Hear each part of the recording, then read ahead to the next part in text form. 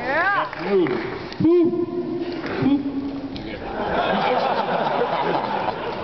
I was originally going to give this presentation with like some really cool notes and whatnot, but um, I went back to my hotel room to get changed and seemed to have passed out. so uh, we're just going to go with what we have. Um, Cartoon originally begged me to take this presentation. Um, I'm not much of a presentation guy per se. I wasn't really looking forward to it. I wasn't like, hey, yay, presentation. Um, but he came to the conclusion that if he didn't get somebody to do it, then Mittani was going to do it. Um, and there was already a, uh, a round table for long-winded, pseudo-intelligent douchebags. he came to me and he said, he said, Darius, I would like you to give this presentation, but um, there's one caveat. I want you to look really classy. So this is what I have. By the way, do you have any idea how hard it is to find clothes for short, fat people? It is not easy. Uh, I'm going to hit next and hope that it comes up. Goons! What is a goon? Um, I found this description in a, in, in- a Google search. Um, hoping to get outside opinion.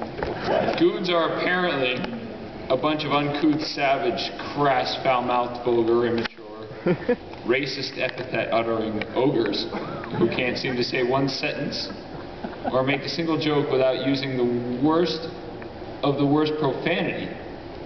Um, or referring to some body function, fluid, or body part, and then giggling like a 10 year old. Guilty as charged.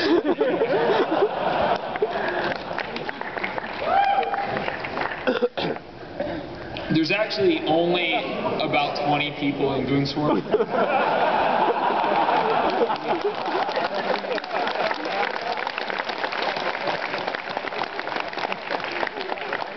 This is um, what we consider the standard director um, computer setup. Um, this is actually not a mock-up. This is a very real representation of a desktop. Um, we've rigged that mouse and keyboard to through some magic box to all 20 of those screens. Um, we have instructions for how to set up your overview so that you're not like clicking, or, oh God, I clicked in the wrong place. Uh, and you you know, between the 20 of us, we managed to get you know 100 man fleets and whatnot.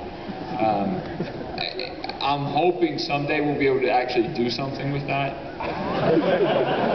but in the meantime, we have really cool desktops.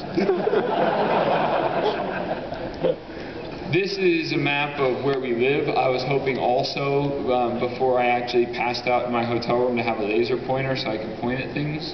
Um, that didn't occur, but if you look down in the lower left, there's an interesting goon swarm symbol with a hand grenade. Um, uh, that's where we live, and the rest of the blue and gray are people who are not necessarily killing. Um, people in red are people who we are. Um, going to stick to the format. This is the uh, wonderful map from before uh, 9-9 was invaded, actually way back, going back about two years ago. Um, a, a lot's changed since then. Um, a particular alliance in the lower left-hand corner, um, who at the time was called Band of Brothers, decided they were going to attack us and take over some stuff in the lower right. And then uh, something beautiful happened, is what we get here.